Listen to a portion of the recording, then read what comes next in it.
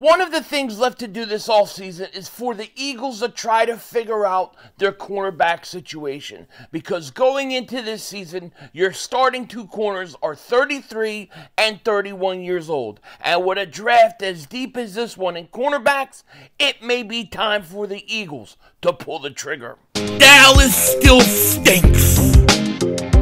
Yo, by the way, King Dingbat here, and Darius Slay, 33 years old. James Bradberry, 31 years old.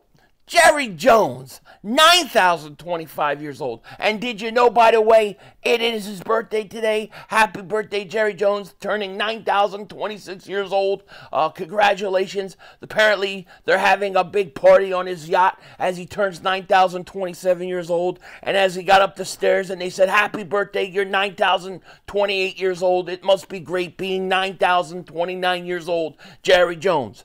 But when you look at the teams around the league and when you look at these teams that are Super Bowl contenders, how many of these teams actually have cornerbacks, two starting corners that are over 30? This is a real problem and a real situation I think the Eagles are going to still have to fix. And it's early in preseason, and Howie Roseman, during his uh, meeting, you know, at the owners' meetings, uh, he kind of hinted that it's really early in the offseason and there's some things yet to drop when it comes to these corners. So we got a lot to talk about because my personal favorite move for the Eagles to do in the draft would be to take a cornerback in the first round. And in this video, I'm going to get to explain my reasoning. But before we get into that, I want to talk about a couple number uh, changes that we have uh, for the Eagles. Rick Lovato, who wore 45, has now changed his number to 49. Uh, I guess I'm going to have to buy myself another Rick Lovato jersey since I have it in 45. Psych, I don't have it. What are you talking about? Um, Eli Ricks. We all love Eli Ricks. Uh, Eli Ricks showed a lot of promise as a rookie. I think this kid is going to be a player. He changes his number to 23. We all thought CJ Gardner Johnson was going to get the number 23. That's what he had when he was with the Eagles in his first stint. But he takes number 8. Mamba mentality uh, is what he said. So CJ Gardner Johnson wears 8. Eli Ricks now has 23. And that opens the door to the fact that Devin White gets his number 45. And you got to love this. I think this is a great start for Devin White. And let me tell you something.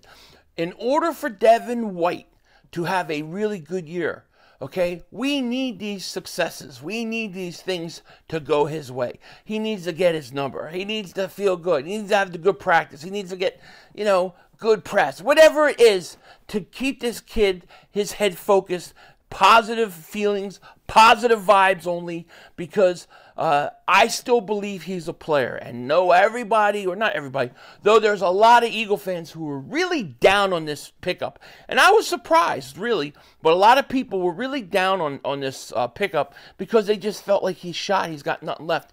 He's not the same player that he was. And when you look at him and you look at his, that you know, it's not like he's 32 years old. Like, I get it if he was 32, 33 years old, but he's 26 years old. The guy's 26 years old.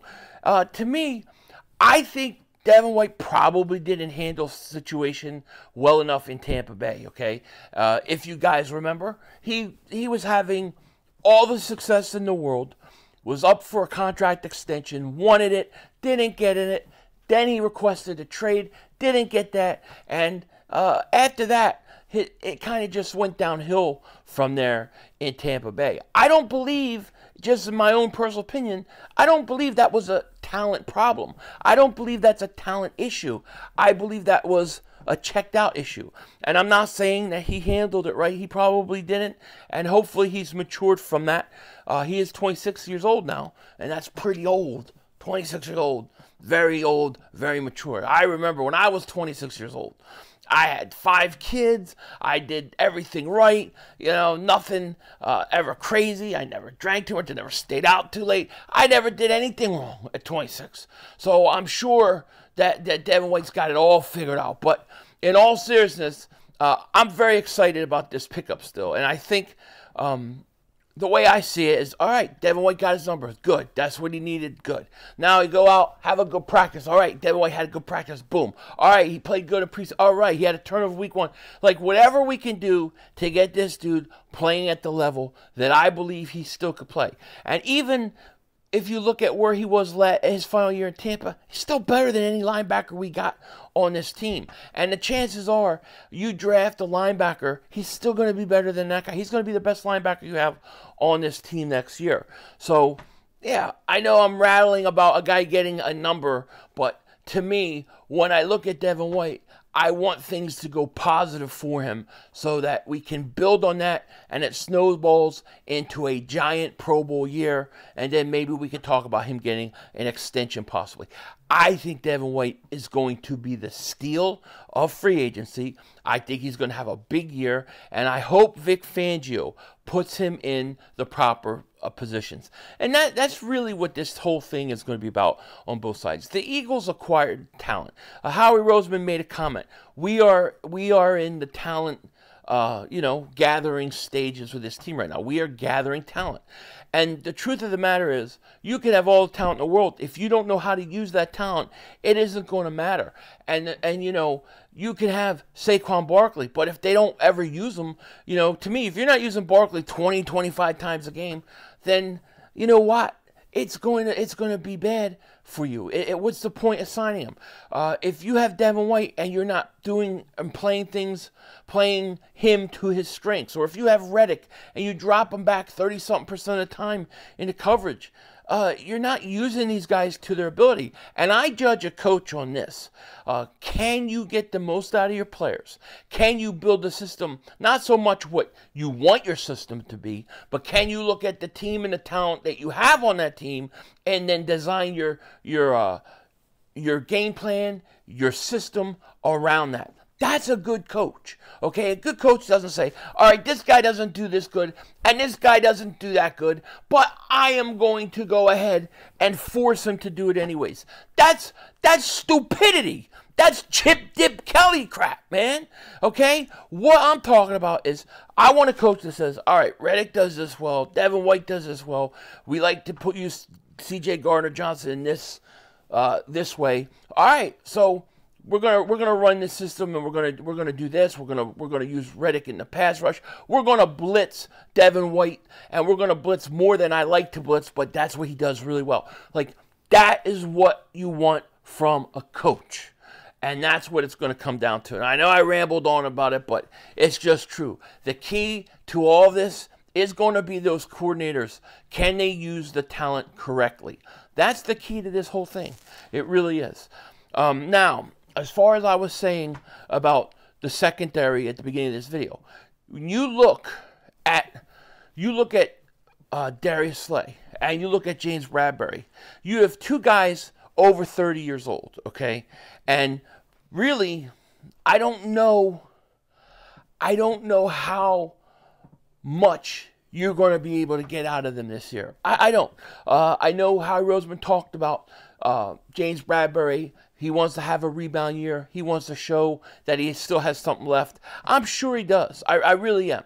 But to me, I wouldn't. I wouldn't. That, that wouldn't stop me from getting younger at the cornerback spot.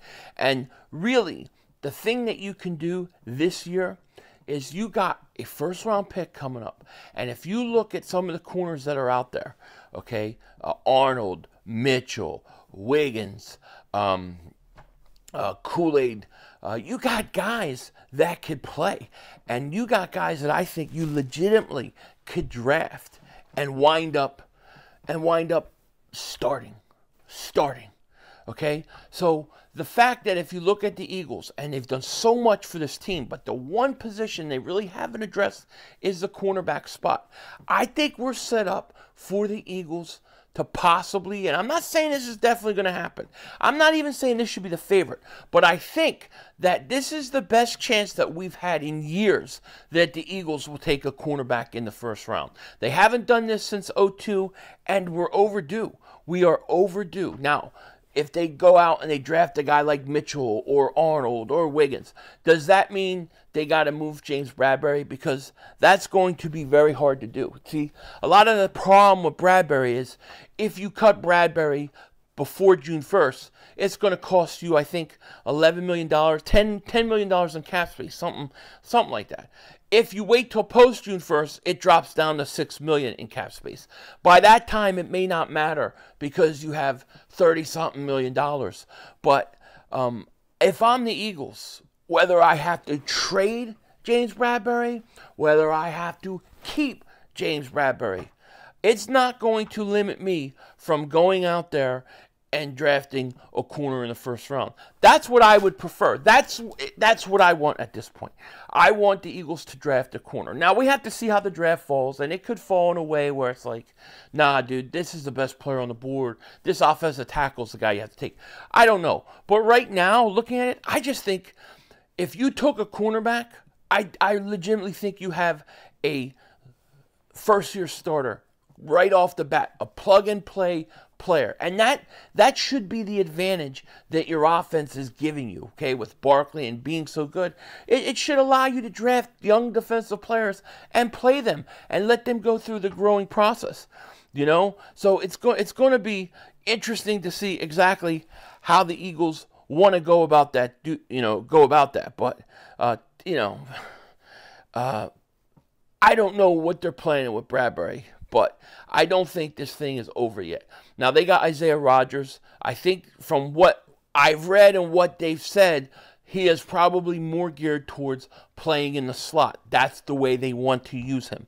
Now, you still need outside corner help. I like Eli. I like uh, well, I like Eli Ricks, but I like I like um I like Kelee Ringo too because uh, I think he showed that he could play on the outside.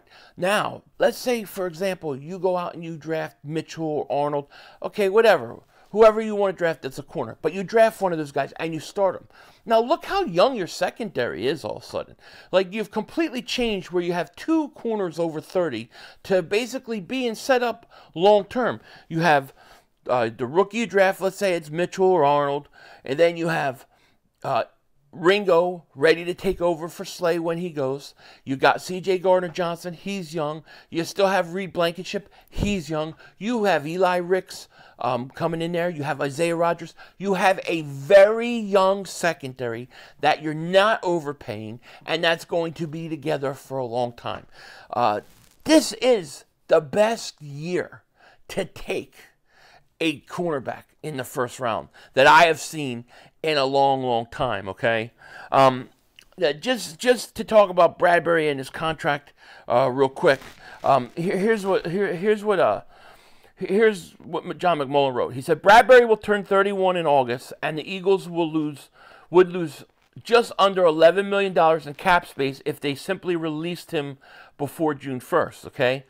That number goes down to a more tenable 6.1 million post June, so Roseman can remain patient as things unfold. So there's no rush to get rid of Bradberry at this point. I don't think you could trade him, but there's no reason why Bradberry should keep you from drafting a cornerback in the first round and then possibly, you know, you get a guy that you really like, you then cut Bradberry post June 1st, or at worst case scenario, you, you let Bradberry start the season off and then you replace him with one of these kids. I do think a Mitchell, a Wiggins, an Arnold, a Kool Aid. I do, I Cooper DeJean maybe. I do think these guys can start and start right away. So I think that of all the years that that since 02 that we've been watching draft and stuff, I think and I'm not saying it's going to happen, but I'm saying this is the best chance the Eagles have had to take a corner in the first round than I can remember. Will that happen for sure?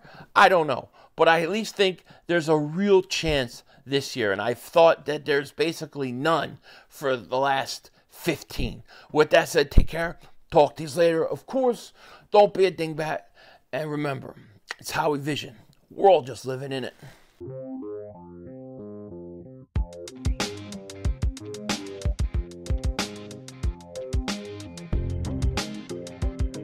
We had enough time for one more play. The officials are bad. We had one Yo, more. you gotta be motherfucking kidding You kidding gotta me. be kidding me. Uh, We had enough time for one more play. Look at this motherfucker What you run, doing? running from What you a. doing? to get off the field on third down. Um, What was that bullshit? That is not right. Kellen Moore, uh, he, he got to be better, man. He, he, he wasn't. Oh, that's some bullshit. What was that? We had enough time for one more play. We had an opportunity to win that game at the end. But the referee screwed us. Way, but, you know, this is just, The brother screwed us. I'm upset, but The brother screwed us. At least they fought back and Only, tried. only Cowboys games Yeah, you, you, you, you, you The literally. brother screwed us. The brother screwed us. It's going to end the way that We had, we had one, we had opportunity for one more play.